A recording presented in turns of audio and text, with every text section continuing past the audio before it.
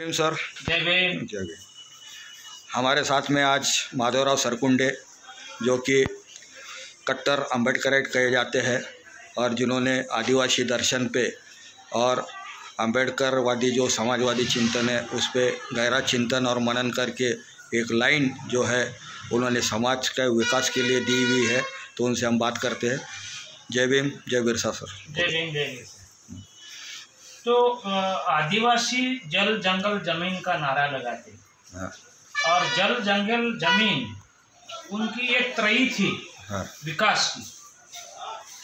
पहले कई साल और कई युग में थी लेकिन स्वातंत्र प्राप्ति के बाद हम्म, जब हमने पार्लियामेंट्री डेमोक्रेसी स्वीकृत किए हम्म, एक्सेप्ट किए बराबर। उसके बाद ये जल जंगल ज़मीन हम्म, ऑटोमेटिकली वो सरकार के कब्जे में गया। तो जल पूरा नदी है बड़ी बड़ी फॉर एग्जांपल नर्मदा है कोई तालाब है वो उतना तो हम काबिज नहीं कर सकते। लेकिन हम जहाँ बैठे वहाँ पे बहुत खनिज है। हम्म, तो सरकार कौन सा भी हो कांग्रेस हो बीजेपी वाला हो वो वहाँ पे रस, रास्ता बनाना है महामार्ग बनाना है प्रकल्प बनाना है कारखाने बनाने हैं खनिज निकलना है। तो ज़मीन तो ले लेगी लेकिन हमने मांग ये करनी चाहिए कि इसके बदले हमारे लोग वहाँ पे जो कारखाना होगा वो जो कुछ प्रकल्प हो उसमें हम हमारे लड़के नौकरी पे लगने चाहिए। और हमको शेयर होल्डर बनाना चाहिए। क्या बात है बहुत बड़ी बात कही शेयर होल्डर बनाना चाहिए वो हाँ ये ये बात ज़रूर है बाकी देशों में ऐसा होता है। हाँ होता है उधर। हाँ। क्योंकि अमेरिका में अमेजन में वो अडानी जब करके जमात की तो कंपनी वालों ने तो ये लगाया था कि उसको हाइड्रोजन नाइट्रोजन में बम डाल के मार डालो। हाँ लेकिन क्या हुआ मालूम है क्या? कुछ सोशल वर्कर आए वहाँ पे।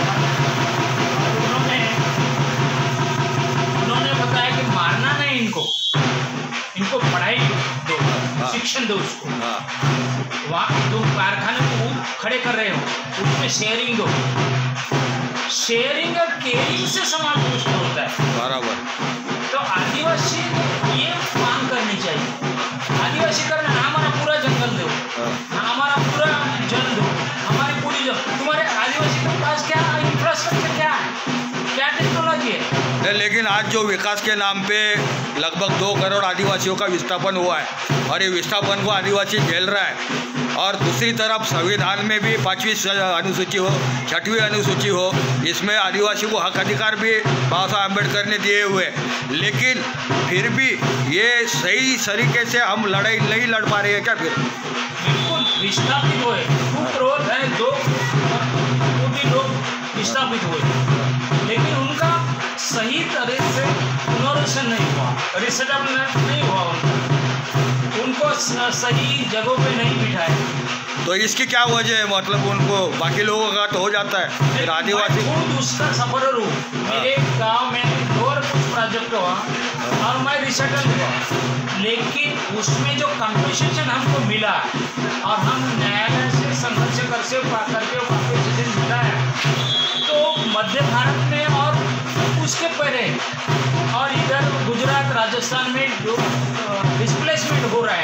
बंजर ज़मीन मिली हुई है मैंने भी वहाँ पे देखा है।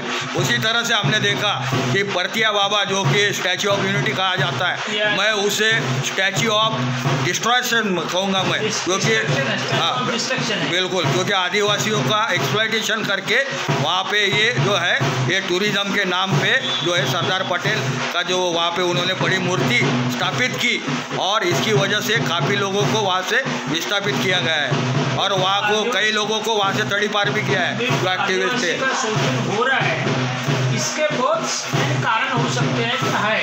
एक तो आदिवासी में वो नेशनल लीडर नेशनल लेवल का लीडर नहीं है। ये सब क्वेश्चन एड्रेस करेगा। ये सब प्रॉब्लम एड्रेस करेगा। आदिवासी उस इलाके में वन प्रांत में स्टेट में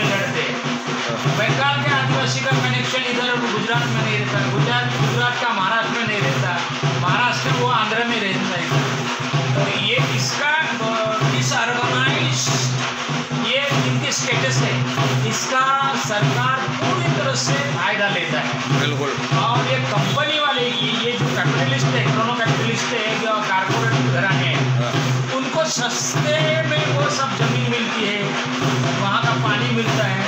और ये फैक्ट ऐसी है कि जहाँ जहाँ आदिवासी बैठे हैं प्राचीन युग से प्राचीन काल से बिल्कुल बिल्कुल। वहाँ पे खनिजों का इतना बिल्कुल बिल्कुल। मुझे चामूलाल राठवा जी की भी लाइन याद आ रही है की जहाँ आदिवासी है वहीं पे बाँध आहे जिथे आदिवासी तिथे धरण त्यातच आहे आदिवासीचे मरण.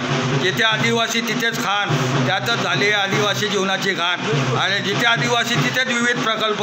आणि त्यामुळेच हा जो आहे हा सरकारचा आदिवासींना मारण्याचा दृढ संकल्प आहे आणि त्याच्याच प्रत्यंतर आपण मणिपूरमध्ये पण पाहिलं की जिथे जे असंख्य जे आदिवासी आहेत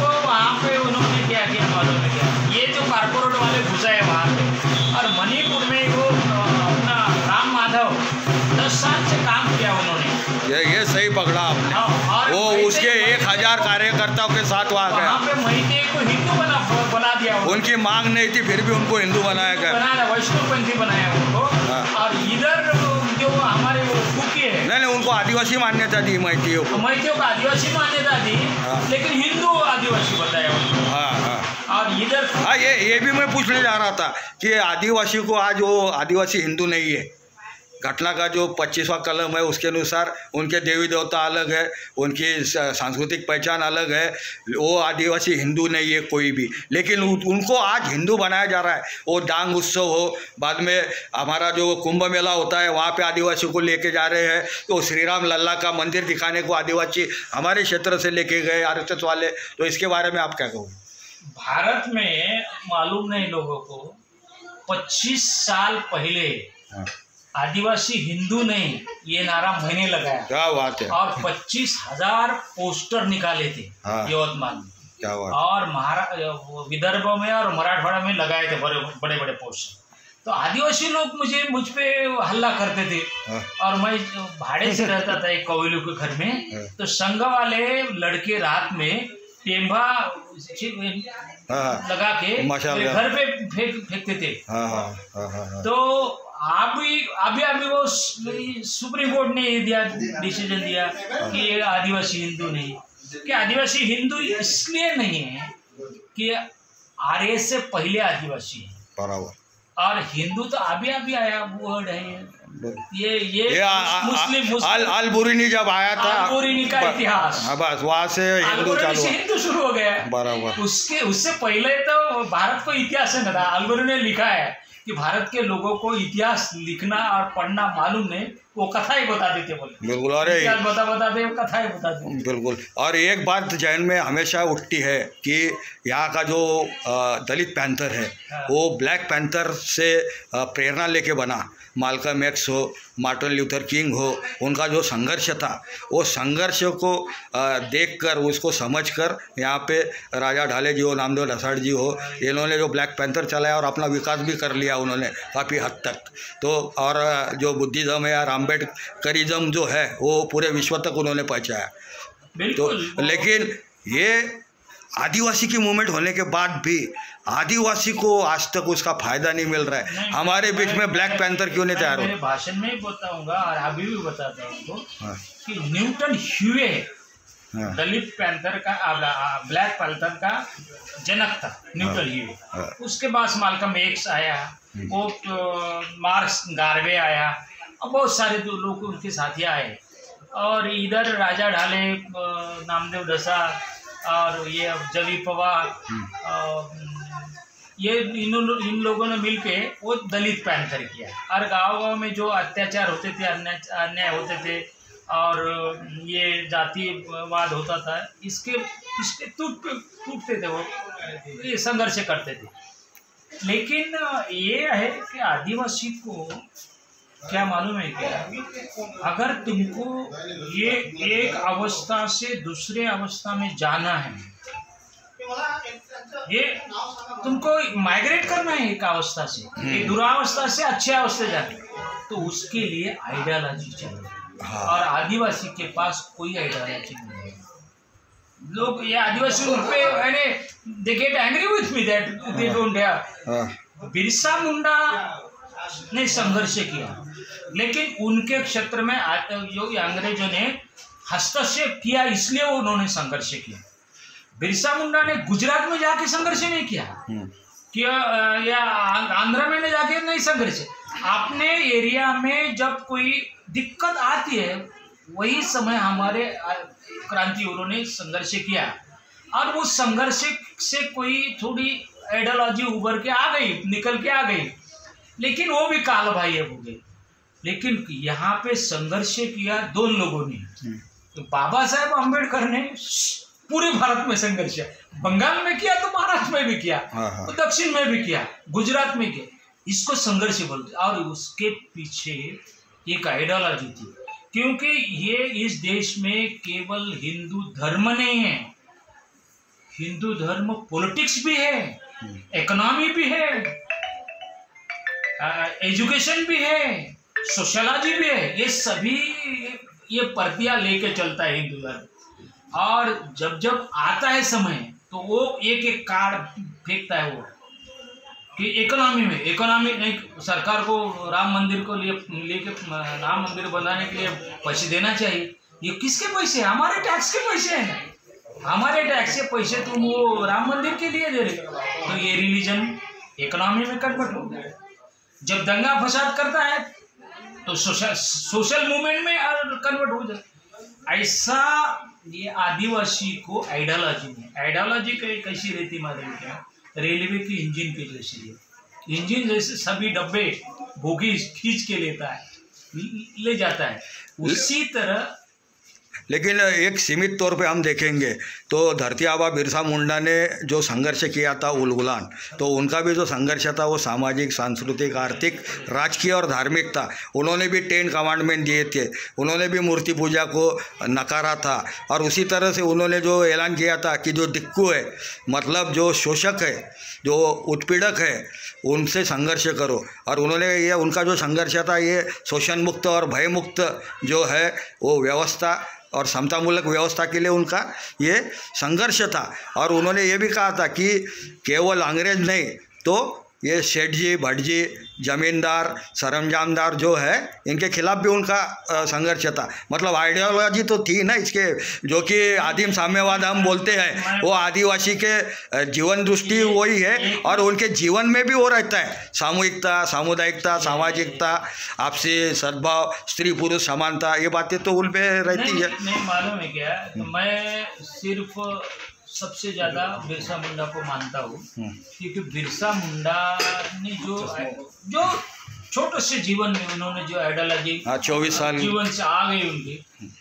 वो आइडियोलॉजी हमारे आदिवासी नहीं समझ रहे। हाँ, क्योंकि उन्होंने पहले क्रिश्चियनिटी एक्सेप्ट की थी एम्ब्रेस की थी। और क्रिश्चियनिटी के लोग जब उनके समाज के लिए कुछ नहीं कर रहे तो उन्होंने बताया कि क्रिश्चियनिटी हमारे काम की नहीं छोड़ दो क्योंकि जब कोई रिलीजन होता है, वो रिलीजन सिर्फ़ पूजा पाठ के लिए नहीं रिलीजन का मतलब सामाजिक उत्थान भी होता है। और क्रिश्चियनिटी हमारा सामाजिक उत्थान और दिक्कू और वो सेठ शाहूकार ब्राह्मण जो थे वहाँ पे, वो सिख और ये मुस्लिम मनी लेंडर उनसे छुटकारा नहीं पा, पाने के लिए मदद करे छोड़ दिया। उसके पास उसके बाद उन्होंने वो आनंद पांडे वैष्णव धर्म का उनके पास गए वो। वहाँ पे दीक्षा दी। जानवान लगाया उनके बाद। वहाँ वहाँ पे देखा और उसने बताया कि ये हिंदू में हमारे काम के नहीं और उसने स्वयं का बिरसाइत पंथ निकाला तो ये बुद्ध के लाइन का बिरसा था। वही बोला मैं क्योंकि कई लोग ये भी बोलते हैं कि बिरसा मुंडा बोधिसत्व थे और वही मार्ग बुद्ध के लाइन का था कि उन्होंने बताया कि हिंदू तुम्हारा कल्याण नहीं करेंगे। ये सेठ साहूकार दिक्कू के साथ है। और ये क्रिश्चियन भी नहीं करेंगे। टोपी टोपी एक है इनको उन्होंने हाँ बताया हाँ बिल्कुल टोपी टोपी। तो ये ये लाइन आदिवासी ने ये बताना चाहिए ना। हाँ। अब वो तुहिन करके वो विज़िट का एक लेखक है। हम्म, और दूसरी एक लेडी उन्होंने 400 पन्ने का किताब लिखा है चरित्र बिरसा मुंडा का। हम्म। उसमें क्या बताया है? बिरसा मुंडा गायत्री मंत्र गाता था। उसको बिरसा मुंडा वो मंदिर में जाता था। विष्णु का अवतार बना विष्णु का अवतार बना दिया। बिरसा मुंडा के कम मैं दावा नहीं करता लेकिन सबसे ज़्यादा किताबें बिरसा मुंडा की मेरे पास है। इवन बंग, पाकिस्तान में पहला बिरसा मुंडा पे फ़िल्म निकला था। हाँ। गांधी से पहले गांधी। क्या बात है। और उसकी स्क्रिप्ट फ़िल्म की उसका किताब है वो मेरे पास है। म- मैंने ये भी सुना है तो ये कि- कितनी सच बात है ये कि गांधी जी ने जब खूटी में बिरसा का जो पुतला देखा था लंगोट वाला तो उसको देखकर ही उन्होंने लंगोट धारण करना चालू किया नहीं नहीं वो नहीं वो ये ओ, यो, मैंने सुना ये ये। ये अपना सतीश पेंदा बना था अच्छा, अच्छा। हो ये हाँ। गांधी जी जब आ, गांधी जी जब दक्षिण में गए थे हाँ और वहाँ के किसान उन्होंने देखे थे। अच्छा अच्छा। आधे कपड़े हाँ हाँ वो तारीख सहित मेरे पास है। हाँ हाँ और वहाँ से उन्होंने कपड़े अपने पंजाब पे आगे हाँ, हाँ, लेकिन गांधी झारखंड में बार बार जाते थे। हाँ। और वहाँ जाके उन्होंने वो अपना ठक्कर बापा बिठाया था वहाँ। और वहाँ पे उन्होंने वो आदिवासी सेवक संघ निकाला था। उसका अध्यक्ष वो था। हरिजवन सेवक संघ था उसका सेकेंडरी वो ये था अपना ठक्कर बापा। तो वहाँ पे जाके उन्होंने ये काम किया हुआ आदिवासी के लिए। और आदिवासी शब्द ये शब्द जो है बराबर। वो वहाँ से निकला है। ठक्कर अच्छा। बापा के इससे निकला हाँ। पहले बार हो गए उन्होंने ये किया। जी जी जी जी जाना पड़ेगा। बिल्कुल गुलगुलान जारी है और जारी रहेगा क्योंकि आज के तारीख में ज़्यादा ज़रूरी है और हम कामयाब ज़रूर होंगे लड़ेंगे जीतेंगे। जय भीम जय वीर जय। जवाहर